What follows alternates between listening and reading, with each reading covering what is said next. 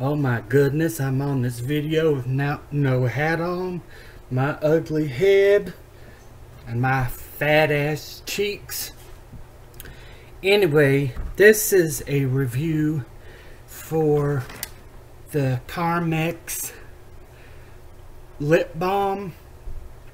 Now, this is no joke. I've been using this stuff since 1990.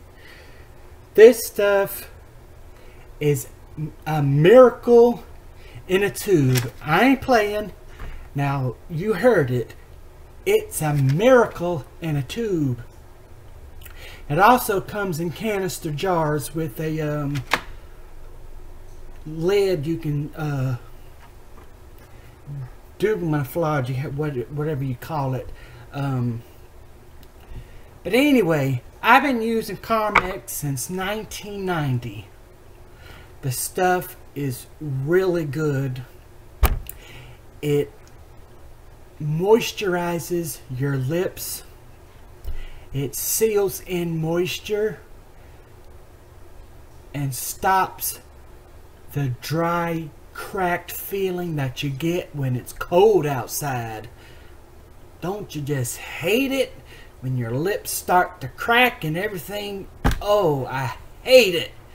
But Carmex now has this new stuff that is like intertwined in with some lotion and some uh, fragrance, raspberries or something, whatever in the heck. I tried it too and it also is phenomenal. Now, I got um, cold sores uh, when I was a little boy, about five or six. But um, Carmex has this new stuff out now that's for cold sores, and I do recommend it because it relieves that irritated feeling that you get when you get a cold sore and it starts to hurt.